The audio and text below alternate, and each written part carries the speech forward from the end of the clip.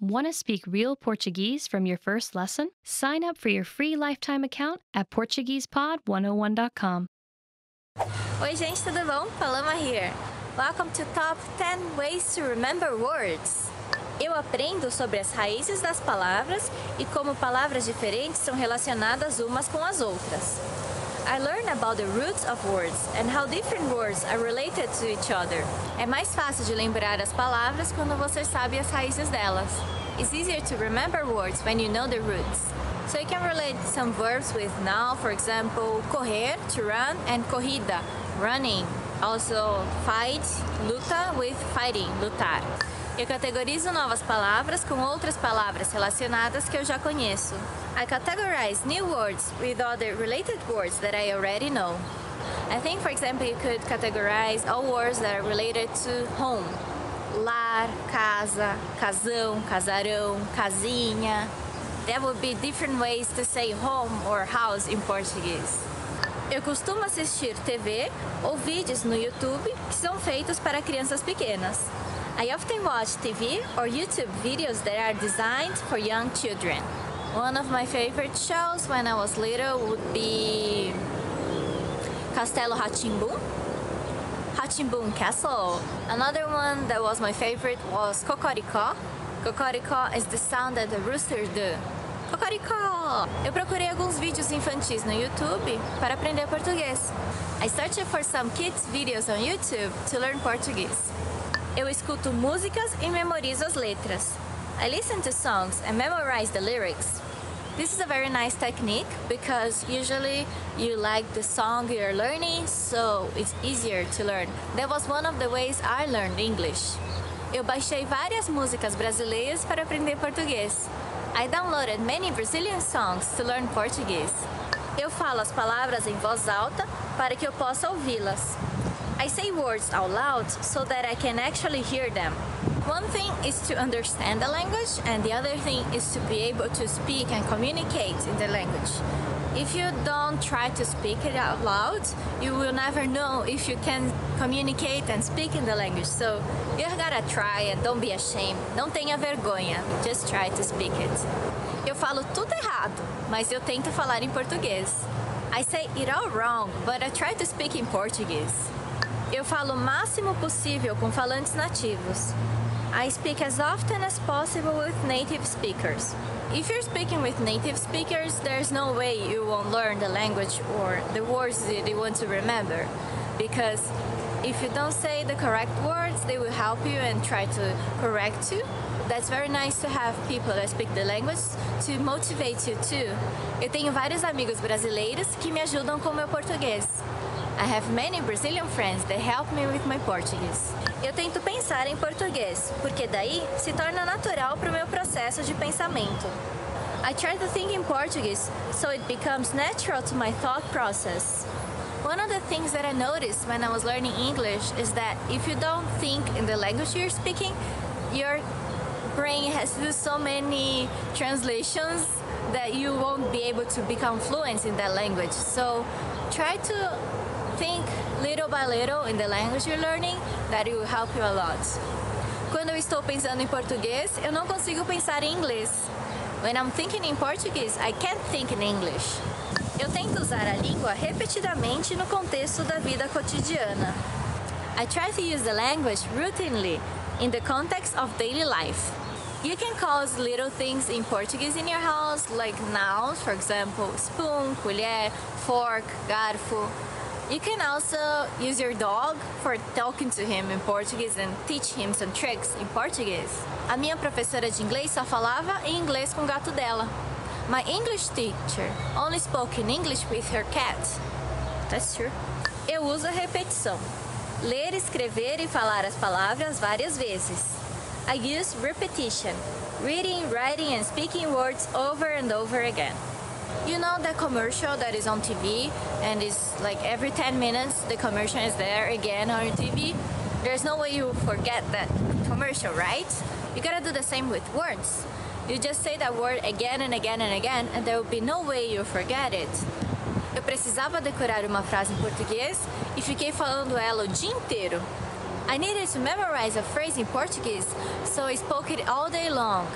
Ler o máximo possível, especialmente o jornal, me ajuda a lembrar as palavras. Reading as much as possible, especially the newspaper, helps me to remember words. Newspaper is kind of advanced Portuguese because you won't find easy conversational words, they will be more formal and business words. But if you're already in that level, yeah, that would be a great help for you to read newspaper. Nowadays you can find newspaper online and also on YouTube there are many news channels. So that's a very good way to memorize and remember everyday words. Eu leio o jornal todos os dias para aprender palavras de economia. I read the newspaper every day to learn economy words. O fim, the end. Thanks a lot for watching and don't forget to subscribe to our YouTube channel. See you next time. Ciao! For some, learning a new language seems to come naturally. For others, the entire process feels more like a tooth and nail struggle. However, if you've had a negative experience learning a new language at one point in time, don't let that discourage you from trying again. The truth is that learning any language is never easy, but it's definitely possible. Sometimes the difference between success and failure has less to do with your abilities or talents and a lot more to do with the way you look at things. In this video, we're going to look at how to avoid five serious mistakes made by new language learners. Number one, listen before you speak. Being slow to speak and quick to listen is good life advice, whether or not you're learning a foreign language. Effective listening is essential to communication. As a beginner, there is a tendency to concentrate so much on what you're going to say and how you're going to say it that you can completely miss the meaning or heart of what the other person is trying to communicate. Not only will this impair your ability to listen in your target language, it will also stall what little conversation you had going. Remember the conversations are a two-way street. If you're speaking more than listening, then you actually have more of a monologue on your hands than a dialogue. The inputs of language learning, listening and reading, are just as important as the outputs, speaking and writing. For a beginner, inputs are even more crucial, as they are the main way you acquire new vocabulary. We even go so far to say that for new students, the best method for learning involves more listening than it does speaking, though that may change with higher proficiency levels. Number two, don't be embarrassed when you do speak. People's next mistake usually comes from the other side of the spectrum, where new learners are too scared or embarrassed to contribute to a conversation. The fear of making mistakes and embarrassing yourself can paralyze your language learning. It's vital to remember that everyone makes mistakes. Even native speakers had to find their way through the language when they were children. Making mistakes while learning a new language is inevitable, but it's also a good thing. The faster you make mistakes, the quicker you can correct them and move on with your learning. So instead of being afraid to make mistakes, try looking at them as steps towards progress. In reality, that's what they really are. Number three, don't fixate on minor issues. If taken in all at once, a new language can feel overwhelming to learn. It's so easy to get discouraged by all your little mistakes and conversational mishaps, and you lose sight of the progress you're making. In addition to mistakes, you'll also come across plateaus, where you study and practice consistently but don't see any results for a significant amount of time. But whether you face errors or plateaus, remember that these things are minor obstacles on the road to fluency. The most important thing is not to give up. Stick with it. If you stay persistent, your mistakes will be corrected and your abilities will improve. But if you slow down or throw in the towel completely, then you'll either subvert your progress or nix it altogether. So remember that as long as you're still studying and learning the language, you can't lose. It might feel like you're losing the battle for language learning for a little while, but hang in there. A practical way to help you stay motivated is to make small weekly goals. Research shows that goal setting has a significant impact on learning. Try picking one aspect of grammar or a collection of new words or phrases to study for the next seven days. At the end of the week, check your progress and measure your success. Setting little benchmarks like this will give you a rightful sense of accomplishment. Number four, remember that immersion isn't magical. A lot of people think that by moving to a foreign country, they will learn the language by osmosis. But whether you learn abroad or at home, you still need to study and practice the language. Living in a new country gives you way more opportunities to do this than staying at home. But if you don't consciously take advantage of these opportunities while living abroad, it won't benefit your language learning. If you're an expat living in a foreign country, there's a natural inclination to hang out around other expats. Learning a language and living in a foreign culture is hard and uncomfortable. For better or worse, we're often drawn to the easier road. If you made the decision to study abroad, then you want to hang out with native speaking people as much as possible. You have the rest of your life to be with people who speak your language. This doesn't mean ignore your expat friends. Just be sure that you're giving proper attention to your language learning. Languages are better lived than they are learned. Number five, be open-minded. Languages are better lived than they are learned. When learning a new language, your brain will want to conform the new grammar and vocabulary to your native language norms and grammar rules. Ignore your brain on this one. At first, you might feel completely wrong saying a sentence that is in fact correct. After a certain point in language learning, there is a switch that goes off when your brain finally realizes that you're not speaking your native language, but a new one altogether. This could take a while though, especially if this is your first time learning a new language. Until then, do what you know is correct, even if it feels a bit weird when you say it. The same goes for culture. Just as you want to be open to the differences in the language, don't forget to be open to the differences in the culture too. Hopefully this video helped you shift your thinking and approach language learning in a way that will help you become fluent faster. And that you'll learn to enjoy the journey towards fluency and savor the language for its own sake. That's probably the biggest language learning secret there is. And for even more ways to get started learning a new language, check out our complete language learning program. Sign up for your free lifetime account by clicking on the link in the description. Get tons of resources to have you speaking in your target language. And if you enjoyed these tips, hit the like button, share the video with anyone who's trying to learn a new language, and subscribe to our channel. We release new videos every week. I'll see you next time. Bye! Hi everyone, Paloma here. Welcome to Top 10 Hardest Words to Pronounce in Portuguese. Avó, grandmother. Here you need to hear the sound of the last O in the syllable. It should be uh, an open O as we say in Portuguese. Avó. A minha avó faz um bolo delicioso. My grandmother makes a delicious cake. Avô, grandfather. Can you hear the difference between avó and avô? Here you have a closed O avô. Meu avô era um inventor. My grandfather was an inventor. Cachorro, dog. Here may find the CH, cho, and the double R, ho, a little different for you. O nome do meu cachorro é Toy. The name of my dog is Toy. Coração, heart. This word may be hard for you because of the RA, ra, and the CAO, são, a minha almofada tem formato de coração. My pillow is heart-shaped. Mãe, mother. Here you also have a nasal sound, mãe. A minha mãe está brava comigo. My mother is angry at me. You can also say mamãe, which is mommy in English. Mão, hands. Also here we have a nasal sound, mão. Remember to use your nose to say these words. A minha mão tem cinco dedos. My hand has five fingers. Mulher, woman. Mulher has this lhe, which is L-H. It's not that hard, right? Mulher. Onde fica o banheiro das mulheres? Where's the women's bathroom? Orelhão, payphone. I love this word in Portuguese because orelhão is big ear, and because Brazilians' payphones look like big ears here.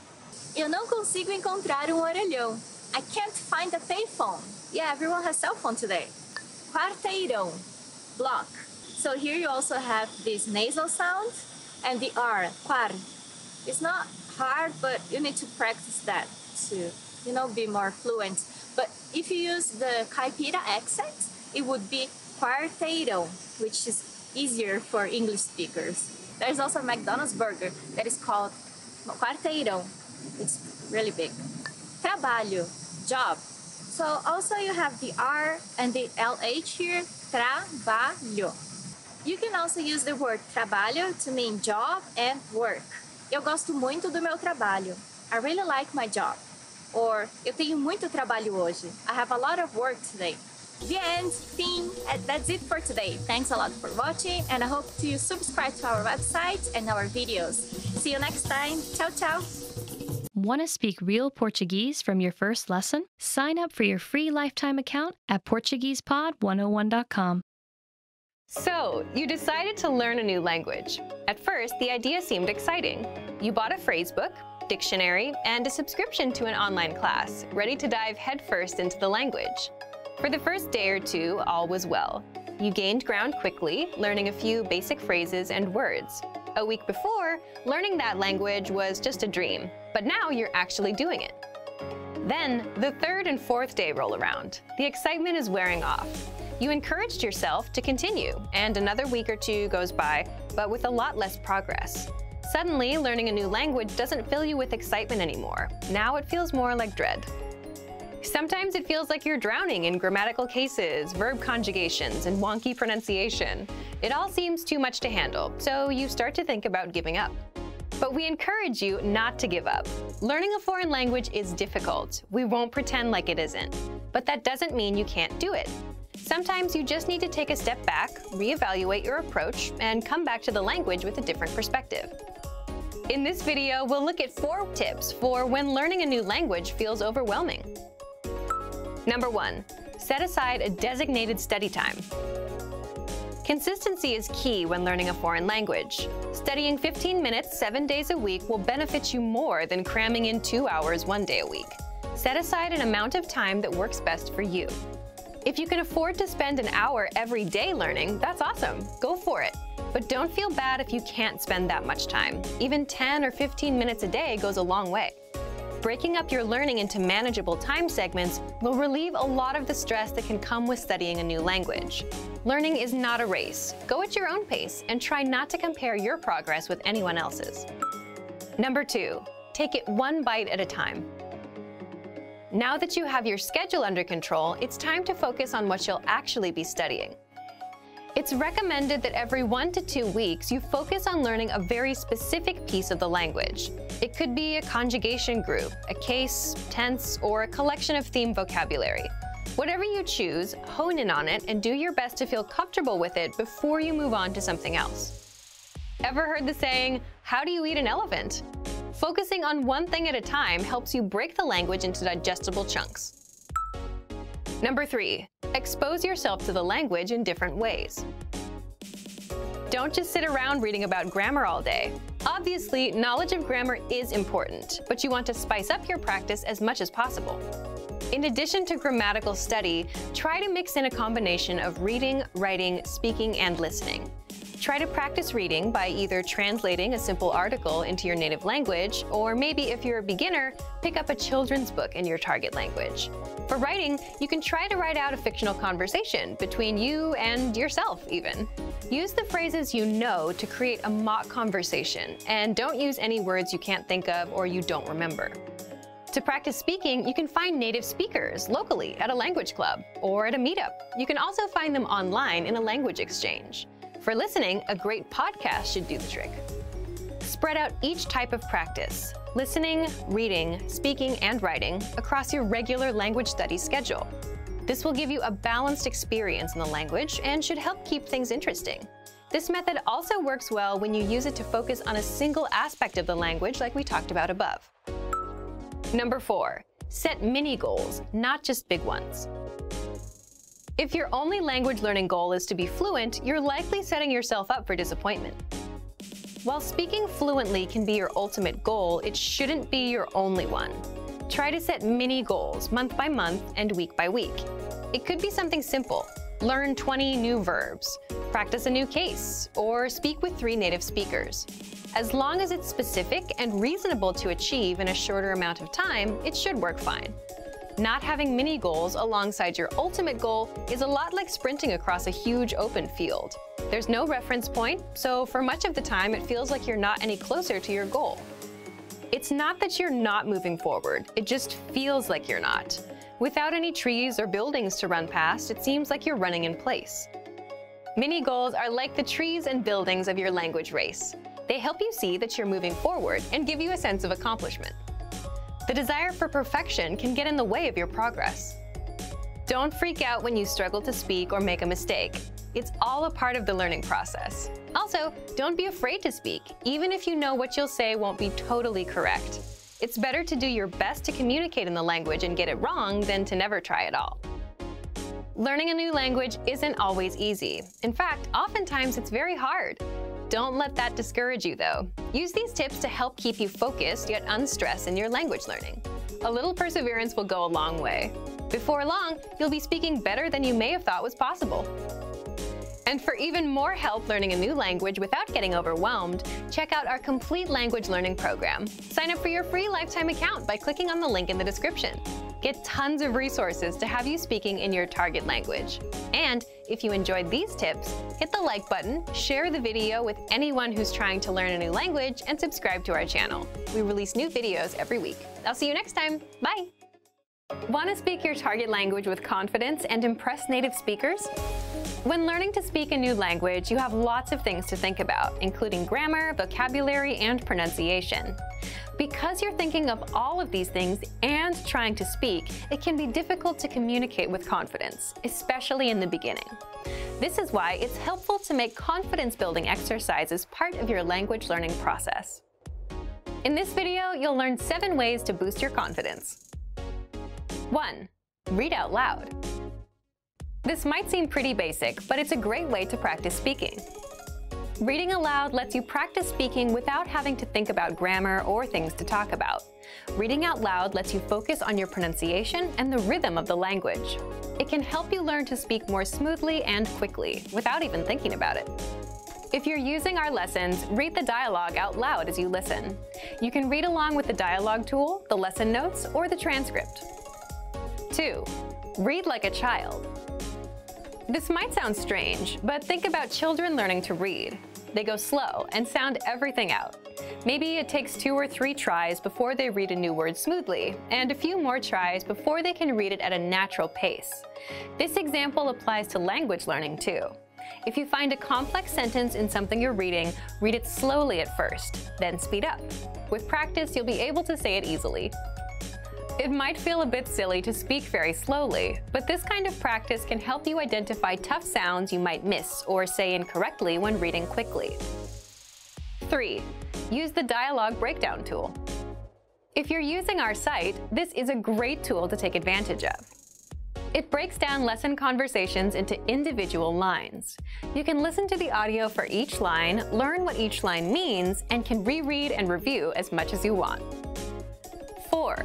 Use the voice recorder to record and compare yourself with native speakers. Just click on the microphone icon next to each line in the dialogue section. You can use this tool to perfect your pronunciation if you like, but this is also something you can use to work on speaking with confidence at native level speed. You'll find this tool in the dialogue section of all of our lessons. 5. Repeat and review old lesson conversations. Reviewing what you've studied in the past is the best way to make sure you maintain what you've learned. Go back to older lessons, download the lesson dialogue tracks, and re-listen to the conversations again and again. Or you can reread the dialogue lines from previous lessons until you've mastered them all. 6. Shadow conversations. Repeat what you hear out loud. This tactic is important, but it can be tricky when you're doing a brand new lesson. If you're reviewing dialogues from lessons you've done, though, it's super easy to do. Just listen to the dialogue and repeat what you hear. Shadowing means mimicking the speaker as soon as they speak, following their intonation and rhythms as closely as possible. 7. Send recordings to your Premium Plus teacher. If you want to speak with confidence, there's no better confidence boost than feedback from a native speaker. And you get just that with a Premium Plus teacher. You can record yourself reciting a lesson dialogue or any dialogue of your own, and your teacher will give you specific tips on how to improve. From the tips your teacher gives you, choose at least one and practice, practice, practice. Being able to react quickly and with confidence in a conversation is typically not something you can do on your first try, but if you continue practicing, you'll gradually find yourself speaking with ease. And for even more ways to build your speaking confidence, check out our complete language learning program. Sign up for your free lifetime account by clicking on the link in the description. Get tons of resources to have you speaking in your target language. And if you enjoyed these tips, hit the like button, share the video with anyone who's trying to learn a new language, and subscribe to our channel. We release new videos every week. I'll see you next time. Bye! Hey everyone! Welcome to your monthly review the monthly show on language learning, where you discover new learning strategies, motivational tips, new study tools, resources, and where we show off learners like you speaking the language. That is, if you're brave enough to participate and become language learning famous. All the materials mentioned in this video are available for you right now on our website. Click the link in the description to sign up for your free lifetime account and start speaking in minutes. Okay, today's topic is why your worst days are the best days to study. So, have you ever had a day where you planned on learning language and you just couldn't go through with it?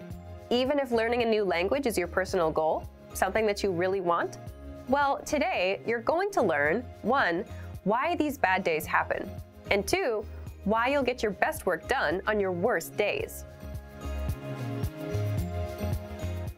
Let's start. Why bad days happen with language learning. When I say bad days, I don't mean when you're too busy or when life gets in the way. These things are unavoidable. I mean days when you're just not in the mood.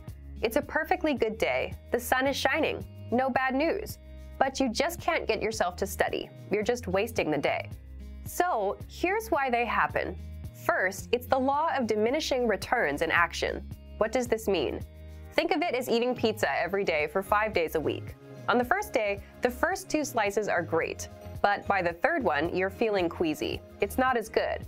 And by the fifth day, you're sick of pizza. That's the law of diminishing returns, when the benefits start decreasing over time. And it happens with language learning. When you first start, you learn a lot of phrases and it feels good. You're excited. But as time goes on, you don't feel like you're learning much. And this affects your mood and motivation. So you're not as excited to learn anymore. So you start having bad days. Second, bad days happen because you overthink things and ruin it for yourself. It's like dreading going to the gym. Let's say you went yesterday. You have to go again today. So you're dreading it all day long. Ah, I gotta go again. You set yourself up for a bad mood and a bad day. Third, bad days are a natural part of the cycle. Some days will be good. Most days you'll feel indifferent. Some days will be bad. But that's completely natural, and anyone with long-term projects and goals feels the same. And fourth, you can't be on 100% of the time. So just like days can't always be good, you too can't always be on and ready to go all the time. Again, just a realistic and expected part of the journey. Now, let's jump into the second part, why you'll get your best work done on your worst days. So, why will you get your best work done? First, it's not that bad once you start. Once you've spent 10 or 15 minutes learning a language, it's not so bad. People say the same thing about the gym. If you show up and put in a bit of time, it gets easier. Second, it's overcoming a mental barrier. What I mean is, when most of us have bad days, our brain automatically says, okay, can't be done today, stop, we're done. But if you just work through it, you don't take these bad days so seriously anymore and that means you're more likely to stick with your language learning goal. This brings us to the next point. Third, it's your best work because working on a bad day only strengthens your habit of language learning. Remember, habits are what will help you master a language over time. If you can stick to a habit on a bad day, your habit only gets stronger, and it will lead you to fluency. And finally, fourth, it just feels good to overcome something. Imagine you have a bad day, but you still put in 10 minutes of language learning. It's a real sense of achievement. And it doesn't matter if you do a 10 minute lesson or a 5 minute lesson. The fact that you made some progress on a bad day will give you the motivation you need to keep going. Now, speaking of lessons, here are this month's new lessons and resources. First, the Best of 2018 Language Learning Cheat Sheets. If you want to get access to all of our conversation cheat sheets that we sent out this year, here's your chance. Download this PDF bundle right now. Next, the brand new Supermarket Cheat Sheet. With this cheat sheet, you'll learn must-know shopping phrases and vocab for meats, vegetables, and all products that you'll find in a supermarket. And finally, the most common adjectives. If you're a beginner and don't yet know these adjectives, then this is a perfect chance to boost your vocabulary. This one-minute lesson will get them stuck in your head, guaranteed. To get these free lessons and resources, just click the link in the description below. All right, everyone. Now we're asking you to submit a video or audio file of yourself speaking the language. If you do, you'll win three free months of access to our learning program, which includes your very own teacher. Here's the challenge for you. Yes, everyone watching this. Record a 30 second to 1 minute video or audio clip. Introduce yourself in the language. Share your name, where you're from, and why you're studying this language. And you'll win a three month Premium Plus subscription. To submit, click on the link in the description. Sign up for your free lifetime account. Then, fill out the form. Attach the audio or video file and press submit. We may feature you in next month's episode. So a lot of learners will see you and your progress, and will hopefully get inspired to improve and master the language. To submit a recording, click the link in the description and follow the instructions on the page. So thank you for watching this episode of Monthly Review. Next time, we'll talk about how to set achievable language learning goals and resolutions. In the meantime, submit your recording if you're brave. Like and share this video, and leave a comment to tell us what language learning tactics you'd like us to talk about. See you next time. Bye!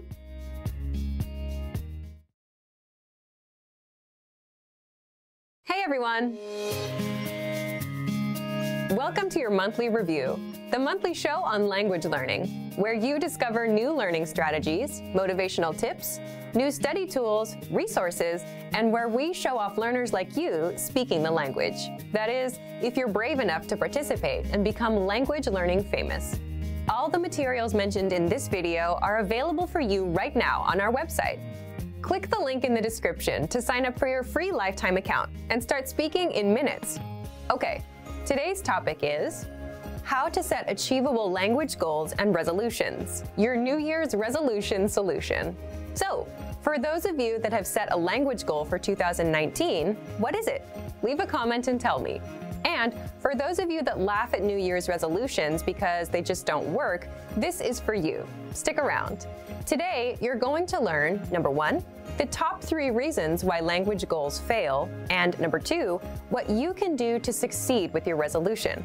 In other words, how to set successful language goals. Let's jump into today's topic how to set achievable language goals and resolutions. And speaking of New Year's resolutions, it's almost like a joke nowadays, isn't it? You set a resolution, you try to do it in January. By February, there's no progress, and doing it isn't fun anymore. You quit and put it off until many years later when you start regretting all the things you've never done. So, what's the problem with setting resolutions, and why do we keep failing? Let's jump into part one the top three reasons why language goals fail. First of all, regardless of what most people say, setting resolutions or goals is a good thing. You have to know where you're going and what you want to achieve, right? Otherwise, you'd spend days, months, years watching YouTube and have nothing to show for all the time you put in. But the problem with most resolutions is it's usually something like, I want to master Chinese, I want to lose weight, I want to be fluent in Japanese. People set very big, vague goals. And that's the first reason why resolutions fail. Resolutions fail because they are non-specific and unmeasurable. What do I mean by that? Take a goal like, I want to be fluent in English, Korean, or Japanese this year. The problem is that's a very vague goal, right? What do you mean by fluent? And how can you measure how much progress you need to be fluent in the language? You can't. It doesn't tell you anything about how much Japanese you should learn today, tomorrow, or how many minutes of Japanese to speak by month one, by month two, what resources to use, and when to stop and take a rest. So again, the first reason is resolutions fail because they are non-specific and unmeasurable. The second reason is New Year's resolutions fail because they're unrealistic. And you might say, but isn't it good to aim for the stars and set huge goals? Sure, it's not bad to want to go far, but if you say, I want to be fluent by September, and you just started learning a language today, it's not impossible, but are you ready to commit yourself to nothing but language learning, six to eight hours a day, nonstop? If not, you need to be a little more realistic about your goals.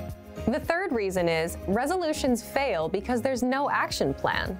The problem is, you'll still fail even with a specific and realistic goal if you don't know when and how you're going to do it. For example, when will you study? How long will you study for every day? And how will you study? So, resolutions fail for three reasons. One, they're nonspecific and unmeasurable. Two, they're unrealistic. And three, there's no action plan. Now, how do you set New Year's resolutions and actually succeed? Your goals should be one, specific and measurable, two, realistic, and three, have an action plan. So the complete opposite of the mistakes most learners usually make. And there are two more rules. Four, you need to set a deadline. And five, break down your yearly goal into smaller monthly goals. So, how would this work? Let's say my New Year's resolution is to have a 30 minute conversation in Japanese by December 31st, and not, I want to learn Japanese one day, hopefully. Already, you can see that it's one, specific and measurable. You can measure 30 minutes, right? Two, it's realistic. I'm aiming for 30 minutes, not fluency. There's a clear deadline, December 31st. Before we get into the action plan, there's another important part I break my resolution down into smaller monthly goals. So let's say my goal is to speak two minutes of Japanese conversation by January 31st, 2019. Again, it's small and measurable, just two minutes. I can time myself and see how far along I am. There's a clear deadline. It's realistic. I'm not looking to master the whole language, just reach the two minute conversation mark. Now, what about your action plan? For that, you just need to answer these questions. When will you study? How long will you study every day? Where do you plan to study? How will you study? What's your study schedule? This is the most important part because this tells you when and how to study. So, when will you study? I'll study at 9 p.m. on weekdays, so five days a week. How long will you study every day? I'll study for 15 minutes. Where do you plan to study? I'll study at home, in the living room, on my computer. How will you study? I'll listen to one or two lessons a day to fill up the 15 minutes. What's your study schedule? Monday through Friday for 15 minutes a day. This makes a lot more sense now, doesn't it? Instead of saying, hopefully I'll learn that language someday, and never taking action on your goals, by setting these small, measurable goals, you know what you need to do. Okay, let's recap. To set successful language goals, your goals should be 1. Specific and measurable, 2. Realistic, 3. Have an action plan, 4. A deadline, and 5. Be broken down into small monthly goals.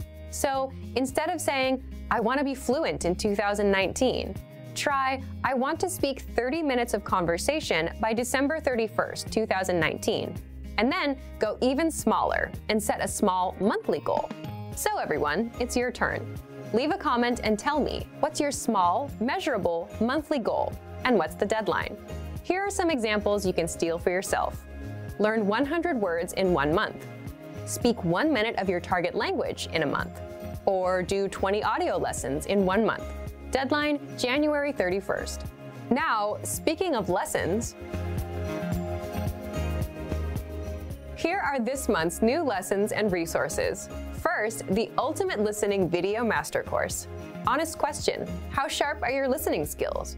With this video master course, they'll be as sharp as a razor. Download it right now.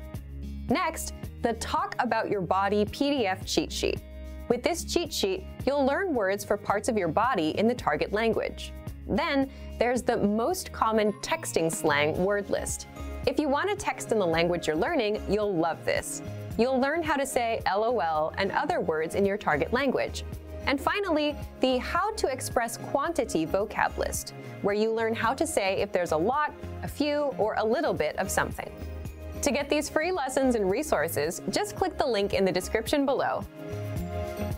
So, thank you for watching this episode of Monthly Review. Next time, we'll talk about the seven tested timeless ways to learn a language. In the meantime, like and share this video, and leave a comment to tell us what language learning tactics you'd like us to talk about. See you next time. Bye!